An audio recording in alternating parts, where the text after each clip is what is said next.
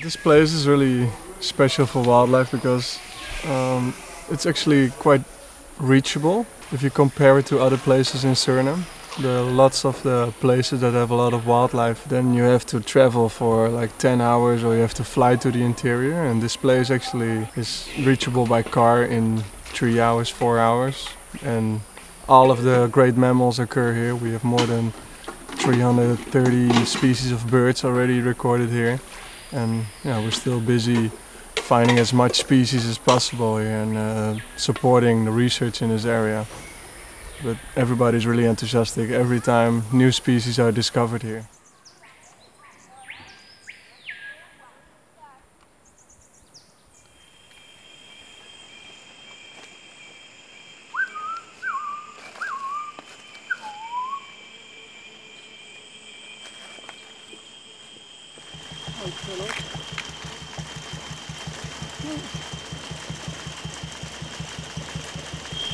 Bullet ant.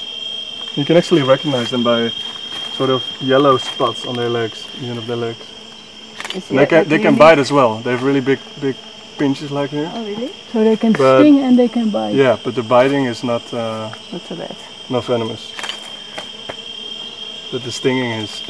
Yeah. So the stinging actually hurt a lot more than uh, than the biting.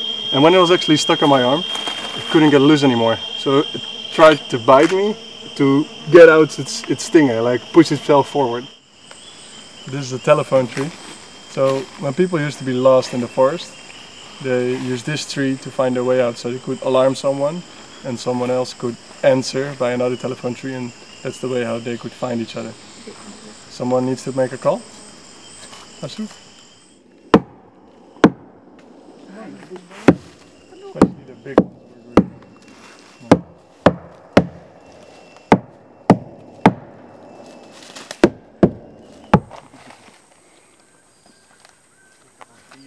A lot of lizards uh, store their fat and their energy in their tails.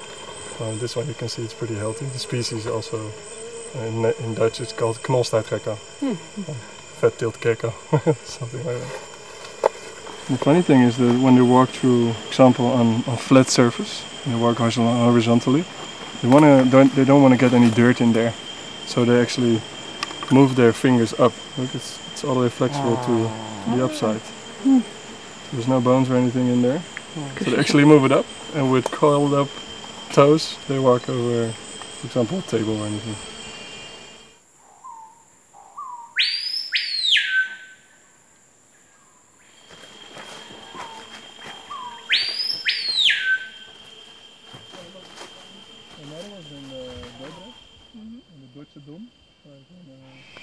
Fred flew over here from the interior to the city a few years back in uh, 2014.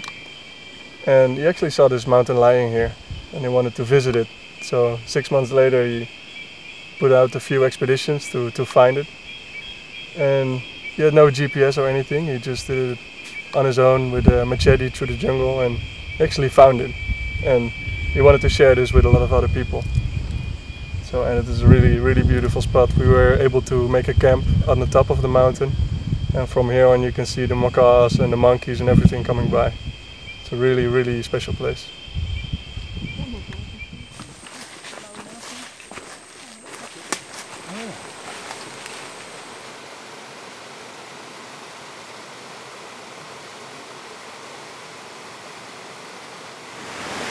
It's Atelopus hoogmoedi, one of the the rarest families in uh, in the amphibian world because they really have big problems with uh, chytrid fungus.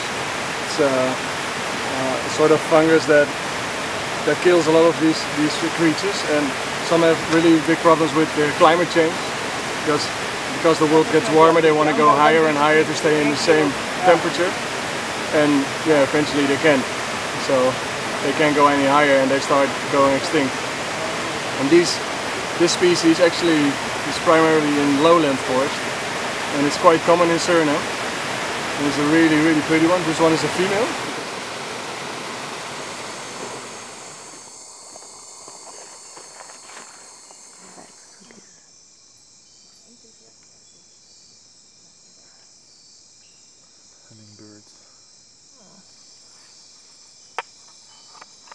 Hummingbirds. Ja, hij gaat helemaal zo om je heen zitten. Net als een, ja, net als inderdaad die uh, luiaards die er vaststaat. Ja. Nog lekker te pitten. Ja, dat is beter.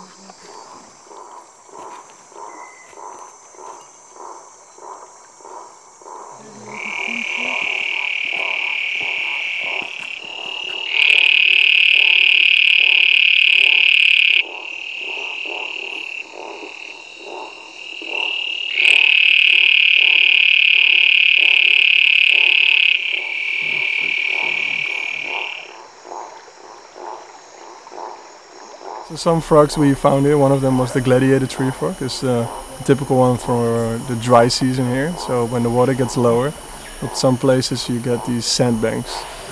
And the gladiator tree frog is actually one of the few frogs that is able to put his eggs right next to the water uh, of a river. Most frogs can't put their eggs in there because the fish will eat it.